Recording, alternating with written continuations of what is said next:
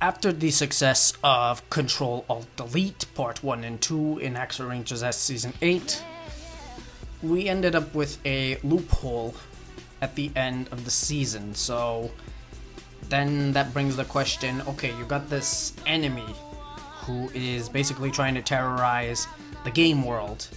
We've already defeated one, but there's many out there. How do we go about this? Well, First of all, let me explain exactly what this enemy is. This enemy is basically a program.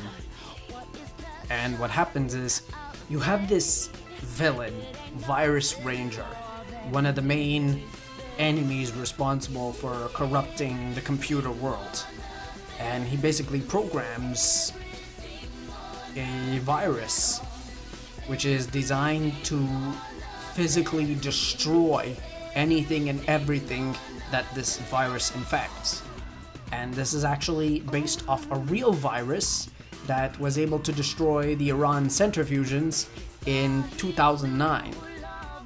You all know it as Stuxnet. Stuxnet was the virus that stopped the nuclear enrichment program in Iran. And it inspired me to create something similar. So I thought, what if we can have the exact same virus, Stuxnet? Have it be programmed by Virus Ranger.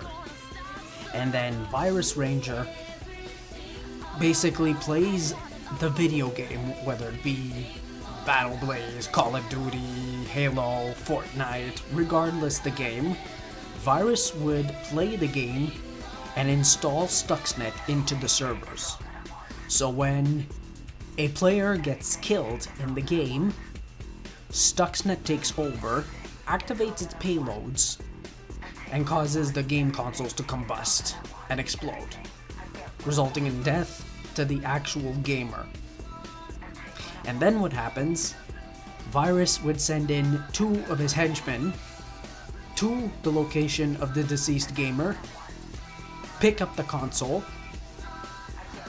bring it to Virus Ranger's lair, and they reassemble it to be used again for infection. And what kind of infection are we talking about?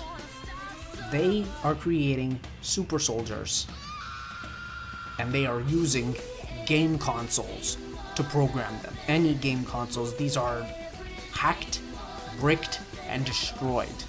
Because basically what they do is they rebuild the game console from scratch, but they modify it. They modify these game consoles just to make the video game soldiers just to make them as vicious and malicious as possible. And there is such a thing as these kinds of warriors. And we call them nanobots. But first, ladies and gentlemen, you're all wondering, how the hell did you come up with an idea like this? Well, ladies and gentlemen, allow me to explain some backstory. So, basically, it all started after the success of Control Alt Delete Part 1 and 2. And in Control Alt Delete, basically we saw the conclusion of Void Ranger versus the Nanobot. Of course, Virus Ranger got arrested, and in the end, Virus Ranger vowed that he was gonna get his revenge. And how he did it, he wasn't gonna reveal it to anybody. But what we're about to find out, especially in season 9, we're actually going to find out what exactly Virus Ranger had planned for revenge. In reality, it began when I got inspired by an artist on DeviantArt. Her name, Toby Robin. This was one of those detective stories where young girl goes on a mission to investigate things. And she has written a couple of stories in the past, and honestly, I was hooked. I was immediately hooked. Hook, line, and sinker. And because of this, I thought, okay, what if I can do something similar? Because I just remembered, as I was looking at all of her artwork, all of uh, Toby Robin's artwork, I ended up realizing wait a minute. I am already doing an investigation story. And it's the story about the nanobots. So I figured, what if I can create the ultimate mystery? A mystery so dangerous, not even Red Ranger would attempt to solve it. And the idea came up with a concept picture that I made myself. And it is this. This is the concept picture. So what I did was I did the Toby Robin picture on the left. That one, I did it for fun. The one on the other side, however, that one, I was definitely conveying a message. A new adventure is coming. And I'm sure you already recognize Void Ranger with his axe and the nanobots behind him. And then I started teasing the show a bit more. But to do that, I needed to get inspired. So I ended up reaching out to DeviantArt and I found some more stories of Toby Robin. Started with uh, Usikujumba, Lord of the Night, and he actually wrote stories of Toby Robin. And let me just say that the stories are definitely worth checking out, especially the stories that have uh, the drawings, because let me tell you, those are definitely a thrill ride. And of course, the pictures of Toby Robin and her friends. And Alenonimo, he's a great artist as far as artwork of Toby Robin in all kinds of peril and what have you. And it got me inspired to think okay, there's gotta be a way where I can make Void Ranger be involved in something similar to all of this. And so I turned to one of my most fun yet overwhelming video games that I've ever played on the GameCube, and it got me inspired to create one of the newest anticipated seasons that I've ever worked on. Ladies and gentlemen, Everything or Nothing.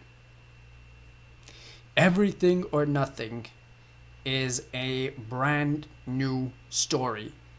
It was completely written from the ground up, and for the first time in years, we are finally bringing back a full season story.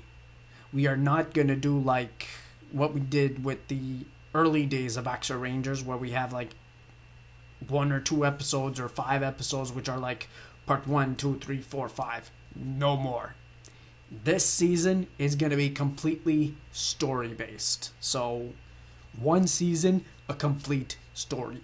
And as you can see from the picture, we can already notice some new characters. So, allow me to introduce them to you, as well as allow me to introduce to you the environments that they're going to be part of. So, first of all, as we already know, we have the hero, Void Ranger. Nobody knows what he looks like. Nobody knows what he looks like under that mask. All we know is that he's a lovable blueberry boy with a thirst for adventure. And Void Ranger, let's just say a lot of stuff has happened to him. First of all, we got new solar beams directed at any angle.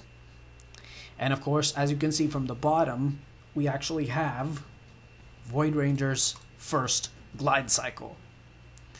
Now, the cool thing about Everything or Nothing is that we are actually bringing back classic abilities and weapons from the original Axem Rangers X series. First things first, the glide cycle. You already saw that from the spreadsheet. Second, the grapple. The grapple is a tool which, providing you have your axe, you can swing it to like a pole or a handle or anything, and you can pretty much jump on and off walls. And it's the best way to pretty much, like, for example, if you have to drop uh, 30 feet and you don't want to get hurt when you land on the ground on impact, the grapple is a good way to travel up and down walls. And Void definitely is going to have a fun time with this, especially in two scenes that I have in mind. So yeah, Void Ranger, the, the, the happy-go-lucky blueberry boy makes his triumphant return. Then we have new characters. But first, let me introduce to you the main villain. Main villain is Astro. Astro is a longtime villain from Axem Rangers. Last time we saw him was season 2 and season 7. So, season 2 and 7, in fact, Astro is the main reason why these nanobots are made because he was the one who designed the blueprints for these nanobots. And Astro wants revenge because apparently what happened in the original Axem Rangers story, we had this one ranger called Spectrum. And Spectrum was the final villain in the series finale of Axem Rangers before the final movie dubbed The Throne of Immortals, where Red Ranger fought Master Falcon, defeated him, and became Prince. This enemy was during the series finale, and he was the last Axem Ranger to be killed before the final movie. And he was the father of Astro Ranger. And now, with Spectrum Ranger destroyed, Astro wants his revenge, and he's using nanobots to get his revenge. At the end of the day, Astro only wants one thing to become the right hand soldier of RA9. And then we got the returning nanobots. Now, obviously, since season 7 and 8, you already saw all these red nanobots. And for the first time ever in Season 8, Void Ranger quarreled with one of them. And you probably know his game tag. It was Spark MLG 200. And that next wave of nanobots, they're gonna have different game tags because, I mean, what can I say other than these nanobots are based off gamers in the MLG community. And like I said, they're programmed by illegally bricked game consoles. So,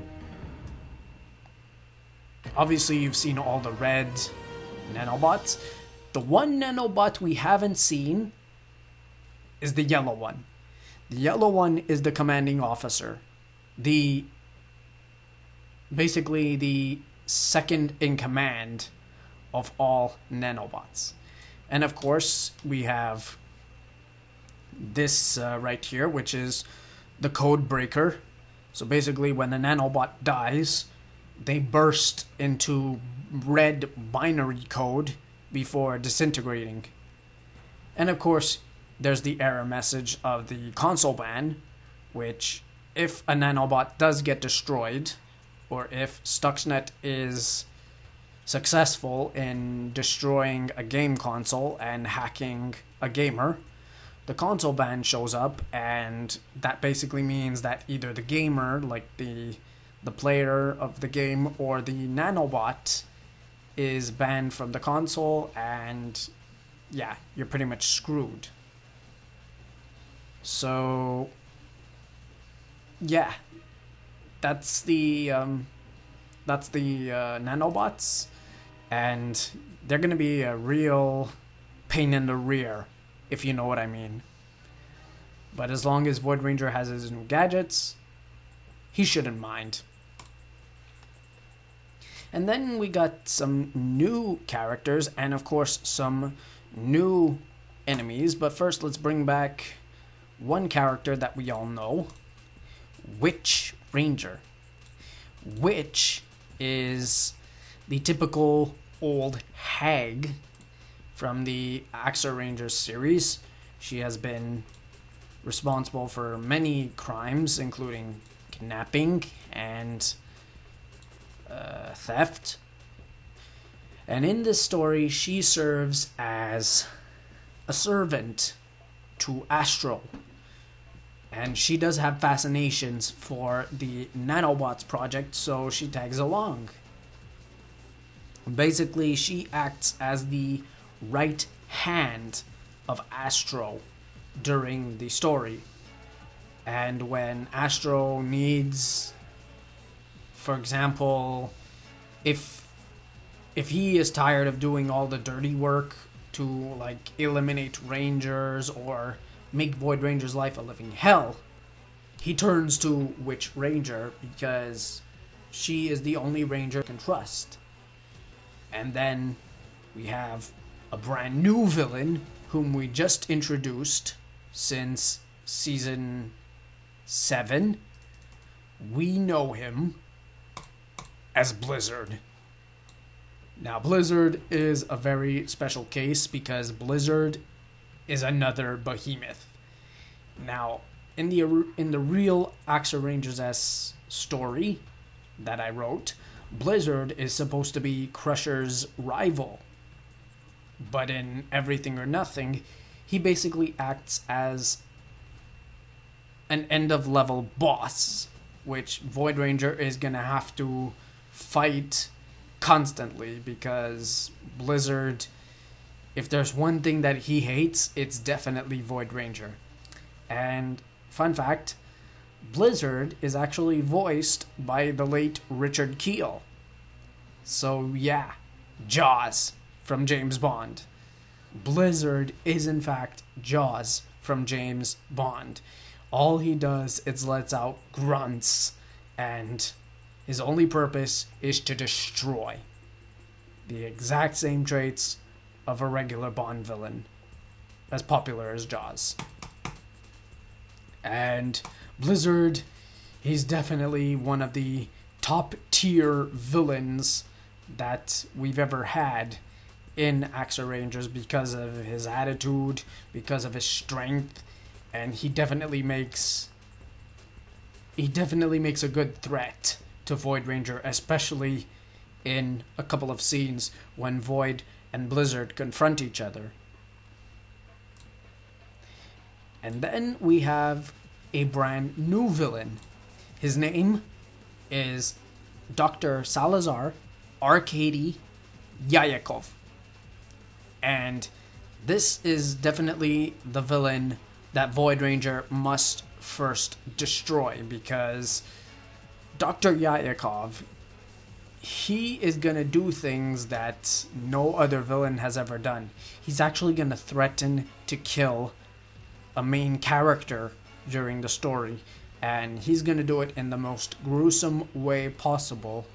And it's up to Void Ranger to stop him before his plan succeeds.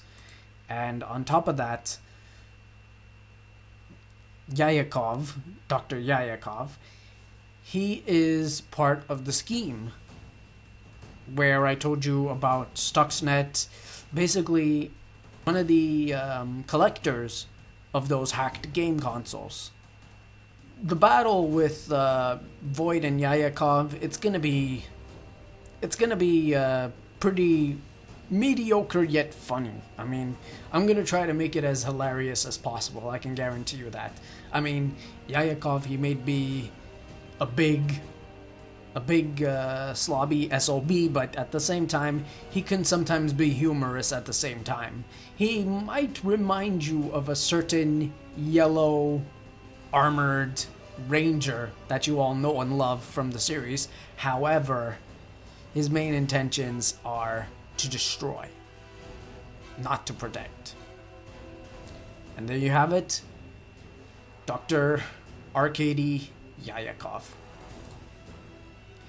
And then we have a brand new character.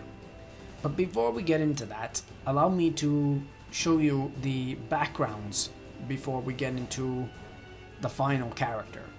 So what we have is this is one of the backgrounds. This is from Uncharted. And basically what these backgrounds are supposed to represent, there's this fictional landmark in Axer Rangers Everything or Nothing. We're calling it Tebay. And Tebay is one of the hideouts for Astro Ranger and his nanobots. And basically, when Astro Ranger has a, a hideout, it's off. It's obviously Void Ranger's time to investigate. So, in this scene specifically, we have the Rangers. We have Void Ranger reunite with them. And unfortunately, it's short lived because Astro makes his escape, and then, of course, all hell breaks loose, and Witch Ranger starts to cause some trouble to Void Ranger. And of course, we have the entrance of Tebay. Once again, Uncharted, Naughty Dog. And then we have the final piece. This is the rescue mission in which one of Void Ranger's friends gets thrown off the cathedral and is prepared to land in the water. And it's up to Void Ranger to save this character before he or she falls to their death. And here I have another background. This is Ground Zero, based off the Hasar Fortress in Tajikistan. And the reason why I call it Ground Zero is because this is where the first battle of Void Ranger is going to happen. And we are, of course, bringing back some. And of course, we are bringing back classic enemies. So, for example, we are going to be bringing back the dragons. And for those of you who may or may not know what the dragons are, dragons were a terrorist group in the original Axem Rangers X series, and they were very famous for causing trouble in the entire series. So basically, in the story, what they're supposed to do is they are going to be doing a exchange money for a bomb. And the funny thing about this uh, this part of the uh, story, the Ground Zero story, is the fact that it has nothing to do with the main plot whatsoever. But this is basically one of the backgrounds. This is the background when the helicopter arrives and lands in this fortress, and then of course when the exchange goes sour, that's when Void starts going around Hasar Fortress and attempts to kill every last dragon that was involved in this theft. And if you're wondering about theft, basically the dragons have stolen a nuclear suitcase bomb. And basically, if one of the dragons got hold of a nuclear suitcase bomb, then that would spell doom for any country that the dragons take over. So, yep, these are the dragons right here. And fun fact about these dragons, a long time ago, and this is actually true, my brother was actually interested in doing sprite animation, and these were the sprites that he wanted to use. So, as you can see, I went for the masked gunman with the uh, soldier gray uniform, and the superior is actually it was this character right here. So this character is the superior. These guys here are the gunmen. And then on the opposite team, we have these green soldiers who are also gunmen for the opposing side. And you had this guy who was probably drinking an ale and holding a map. And basically, in the story, the exchange goes wrong, all hell breaks loose, Void goes in and starts killing every single dragon in his path. A classic way to start the season, and good to see the dragons back after many long years, at least for Void Ranger to cause some trouble. And you may notice some of these rangers actually have the Axem Ranger heads. That's because these were the these were the sprites that I used to create the original nine dragons that were basically the main villains in the original Axem Rangers X series. So nice to see the dragons back for round four. And then finally, um, a little quick update about Ground Zero. This is what it originally looked like. Unfortunately, we didn't really keep it because, I mean, my original idea was to have Ground Zero as dark as possible and I mean, they do look beautiful at daytime, but what I wanted was a nighttime scene where we have bloodshed going on between Void Ranger and the dragons. And of course, we already know when Void fights dragons, Void always wins. And then another um, another uh, background we used, um, we have the train. This is an armored train, complete with uh, computer labs. And what we've done for this one, this is something we've actually never done before in the original Axem Rangers X series, where Void Ranger goes stealth mode. And by stealth mode, Void Ranger sneaks around. He sneaks around the train, taking out as many nanobots as much as possible of course, the story takes him to this train laboratory where Void ends up having his first fight with Blizzard. And Blizzard obviously is going to do everything in his power to destroy Void. And he's going to use every single weapon inside the lab, even if it has to be those three tubes. Those three green tubes Void is going to have to avoid every single one of those tubes to survive. And then we have the factory in which they escape. So it's the whole adventure with the train. It actually starts here in this bone chilling factory. So when I said about the grapple, the grapple is going to happen on this area. You see this big pole up here on the left side? Basically, Void is gonna jump off. He's gonna grapple on one of these poles and he's gonna climb down.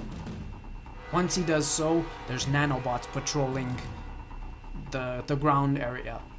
But the thing is, this is not this is not the actual ground. This is just one level. The whole premise of this area is called a long way down. So this is actually the next floor. Because after Void goes down from here, what he doesn't know is that on the right side there's actually a ledge, which is actually up here, and the whole factory continues going downward. And uh, what happened is um, Void Ranger ends up going through a fire field where all the tubes are on fire, and Void Ranger has to find the shut-off valve before he can continue the jump. So from there, Void Ranger then moves on to this area where he finds his glide cycle part, and Void starts flying away from the factory to chase the train where Void Ranger is gonna be fighting Blizzard soon. And of course, around here on that on this bridge, we see a couple of nanobots which Void has to destroy in order to continue crossing. Along the way, he comes across a pesky helicopter, but at the end of the day, it's no big deal. Void Ranger can take it down easily. This factory, however, we never actually had a chance to use it. It is in the it is going to be in the story. I just need to find a way to utilize it. I'm guessing maybe for the final battle, this will be the final level that Void Ranger has to cut, get across, because, I mean, the final level is a factory, of course, and it's supposed to be the factory where all the nanobots were created. I'm thinking this is definitely the perfect, the perfect background to have the nanobots. Basically, the mothership. And then finally, we have the armored train. And this is the train where Void is gonna fight Blizzard for the very first time. This is what it looks like on the outside. I actually have a PNG version of this, and we did we definitely used uh, this train a lot in Everything or Nothing.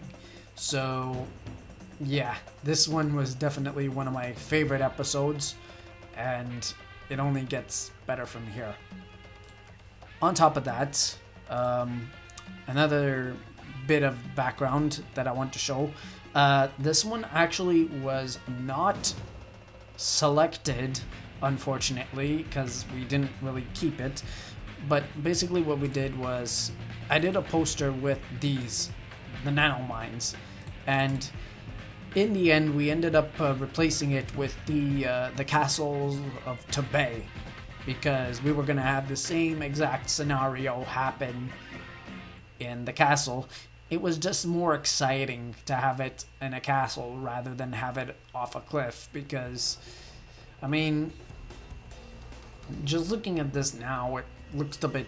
It it just looked a bit boring. There was a bit of like less to no variety in the scene and, I mean, it doesn't make sense to have a mine next to a castle. So, the good news though is that we are still going to keep this mine because I still have some ideas on what to do with this. And that brings me to my next background. Ladies and gentlemen, big shocker for you all. I am introducing to you all Greendale. More specifically, Toby's home. You heard me, ladies and gentlemen. Toby Robin, the new character. Ladies and gentlemen, this is her.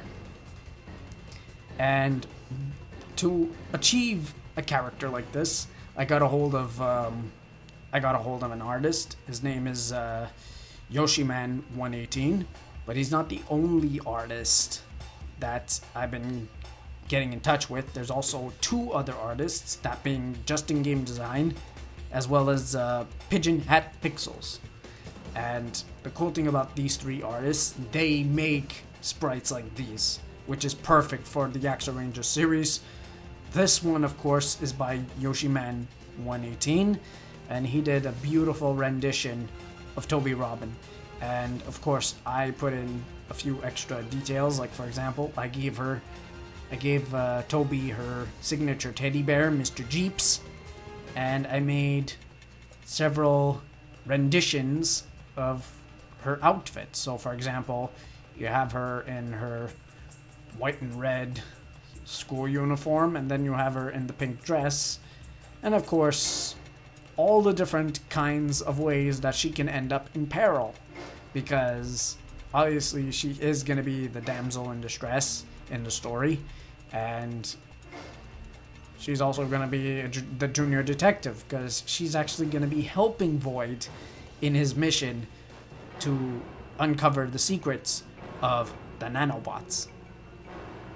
And I have to really give my special thanks to Yoshi Man, Justin Game Design, and um, also, uh, what's his name again? Uh, Pigeon Hat Pixels.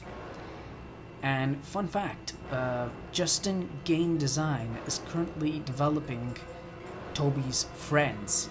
So that's right, you heard me correctly. Two of Toby's friends will be joining Everything or Nothing. So we have the characters Terry Blair and Jodie Fitzgerald. That's right, they are making sprite versions of them, and they're going to be joining Toby in this beautiful yet dangerous adventure. So, yeah, that's going to be pretty epic. So, again, we got Toby's house in Greendale. And then we have the Valley of Greendale as well. We have the little town where Toby gets to visit her friends. We have the school. And finally, the mysterious part about it, we have the mines. That's right. The platinum mines that Toby must investigate are here. And this right here is where we get the first glimpse of our main villain, Astro. And through this passageway, it takes us here to these very mines. Now, I told you guys before about Stuxnet. This is Stuxnet.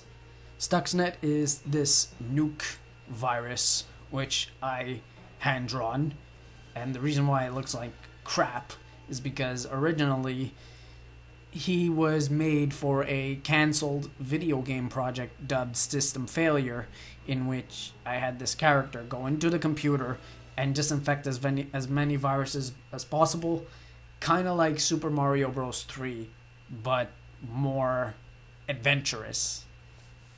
And what happened after that was I started to tease everybody of the actual story. So what I've done was I've put up at least six posters based on the actual story. So we have the poster of Void versus the Nanobot. Toby's about to be burnt in a crematorium. Void Ranger has to save her. And then came the first confrontation with uh, Blizzard and Void. Again, the train background, the background of the train lab. And then came Void Ranger surrounded by nanobots. Yayakov taunting him, telling him that he will never destroy the nanobots and the nanobots live. Then comes um, the scrapped idea of Void Ranger rescuing Toby from Witch, who drops her few stories off uh, Castle to Bay.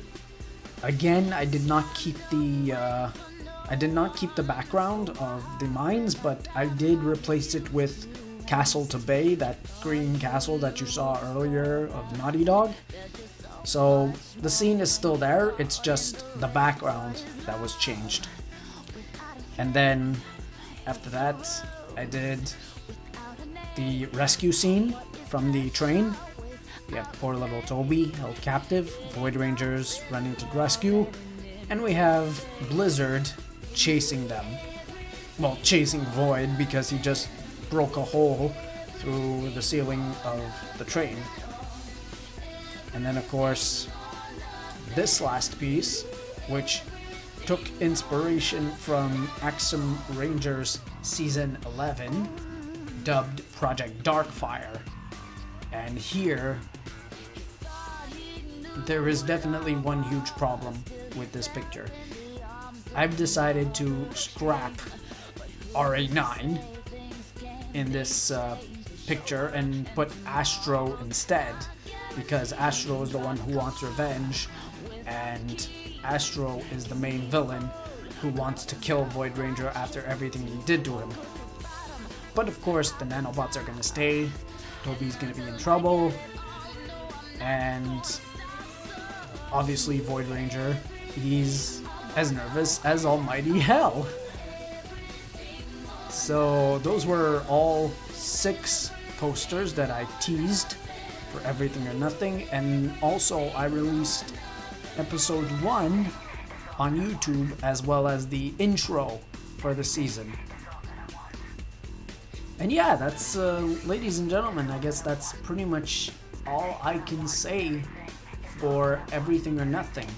So, of course, this is definitely going to be a much more difficult season to produce because of the fact that I'm going to need voice actors and the fact that I did get an A list of actors already present, but I still need to cast two more characters.